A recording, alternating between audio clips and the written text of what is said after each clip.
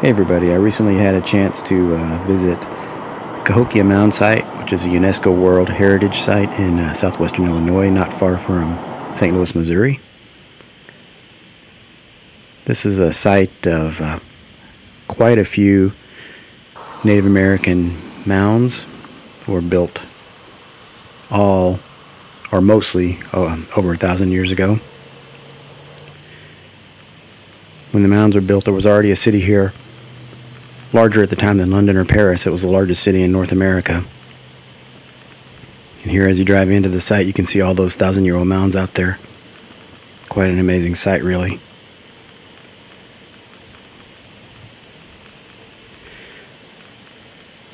This is Monk's Mound. It's the largest of the bunch.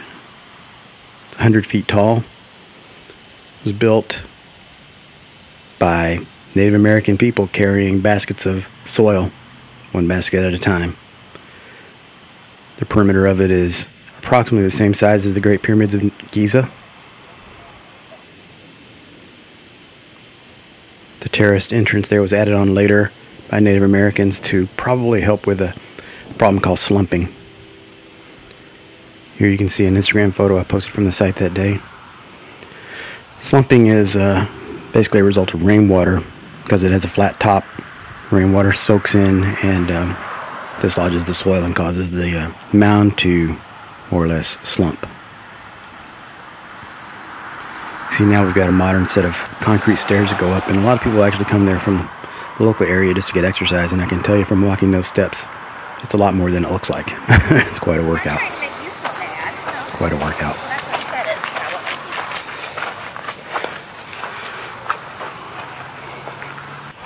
You can see that girl running back down. She ran up and down quite a few times. Off in the distance there you can see St. Louis. I did get a shot of that you'll see here shortly. There was a large wooden structure on top built by the Native Americans at the time. Also later on in the 1800s the property was owned by a settler who built a house up here. It's been dug into several times by archaeologists, and even a well was dug through it. Luckily, the mound has survived.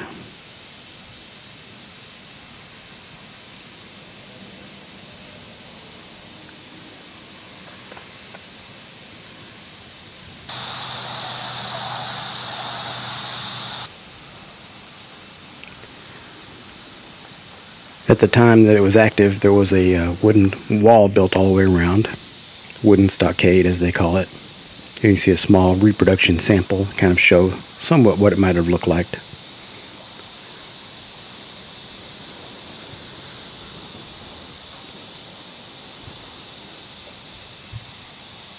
You can see Monk's Mound in the distance there behind. Here's a sign that talks about the wall construction and shows different styles of walls that they had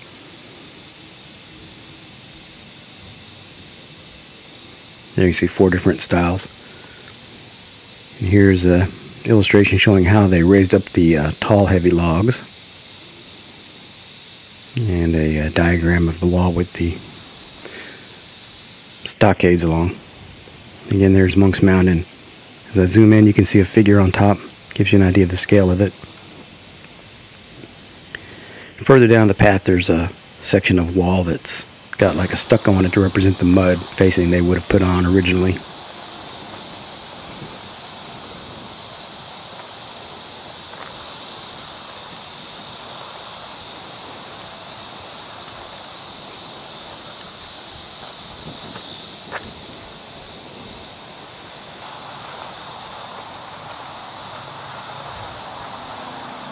Looks a lot like stucco. Left a little gap here to go inside. Let's explore what's going on in there.